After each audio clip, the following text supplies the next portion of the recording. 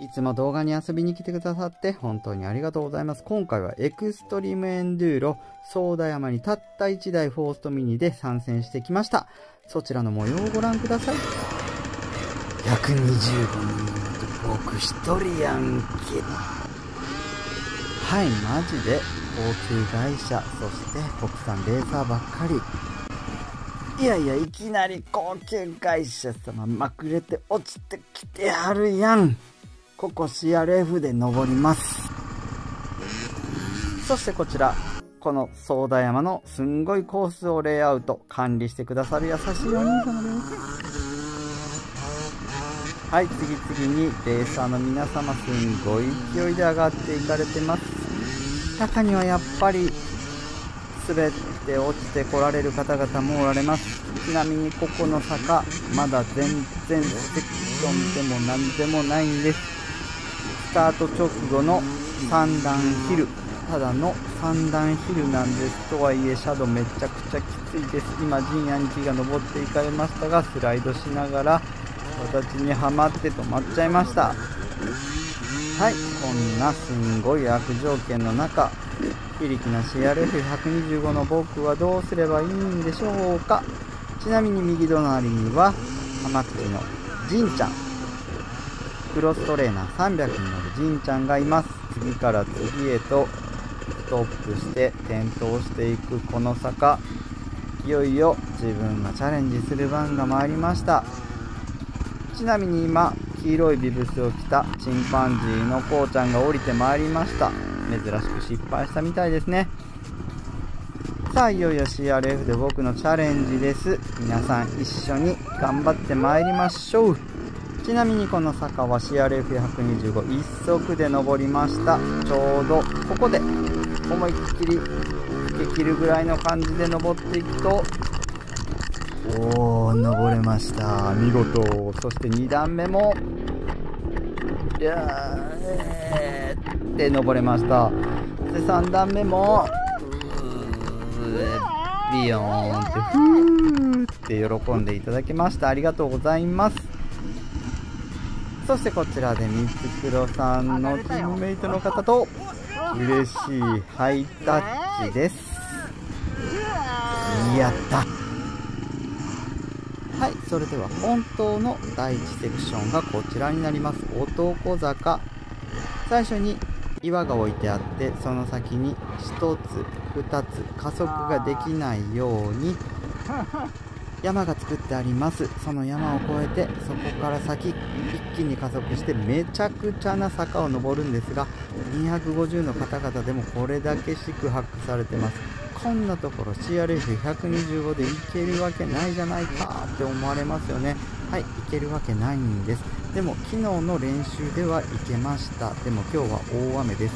こんなにぐちょぐちょの中 CRF でチャレンジです。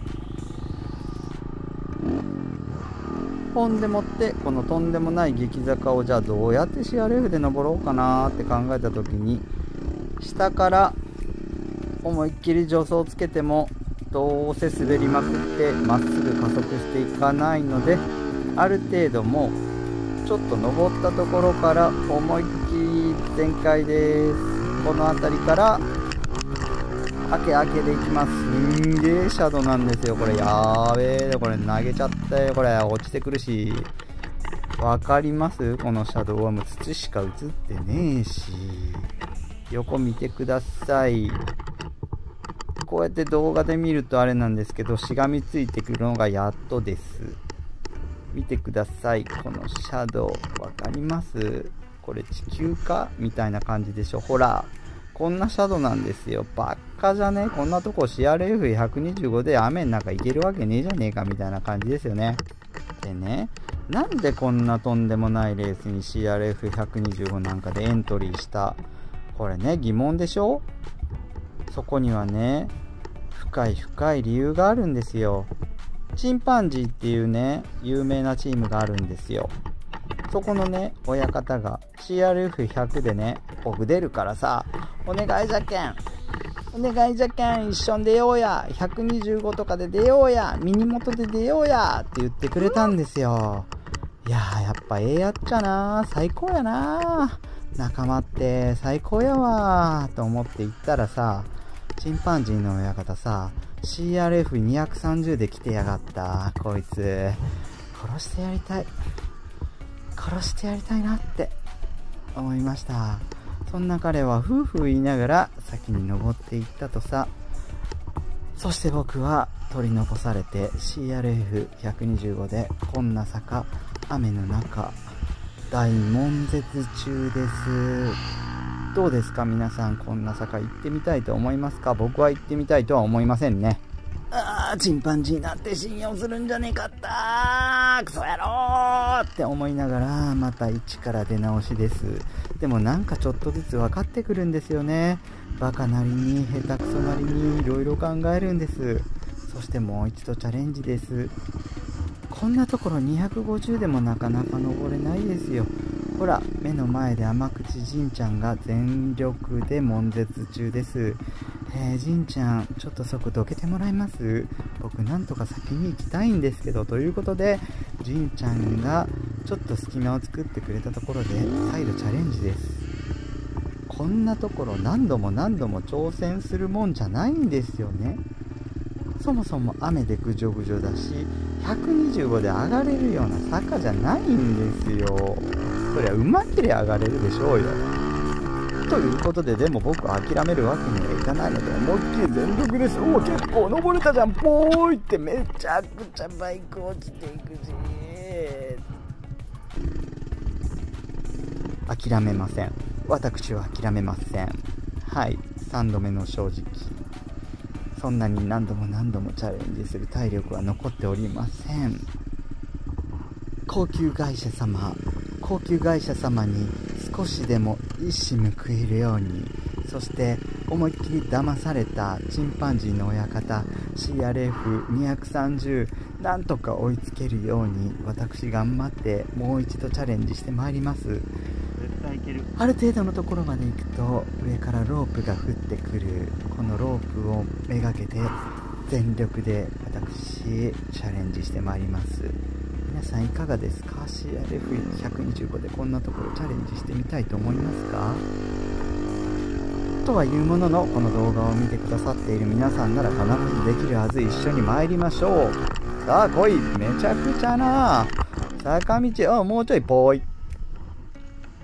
もうええかろもういい。